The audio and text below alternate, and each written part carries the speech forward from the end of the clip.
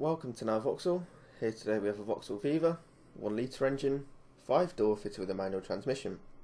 Finished in purple, the car was registered in September 2016 and has a 66 plate. Looking at the side of the car we have multi-spoke wheel trims, body coloured wing mirrors and door handles. Back of the car we have a high position brake light and electric rear windscreen wiper. In the boot,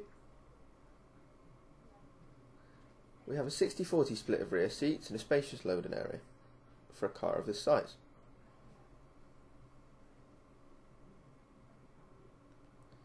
In the back of the car we have a plastic door handle, manual windows and plenty of legroom.